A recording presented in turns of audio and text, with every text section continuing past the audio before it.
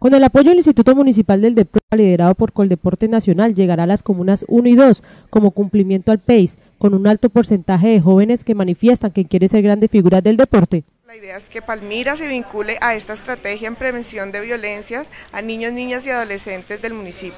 Inicialmente, ¿en dónde estarían iniciando este proceso que les ha manifestado el alcalde? La idea es comenzar en la Comuna 1 por medio de un programa piloto y pues bienvenidos todos los niños, niñas y adolescentes que puedan vincularse después a este proceso. Eh, la idea es que ese sea un proceso, que no sea un tema coyuntural y que obtengamos muy buenos resultados. ¿En qué áreas estarían participando estos niños?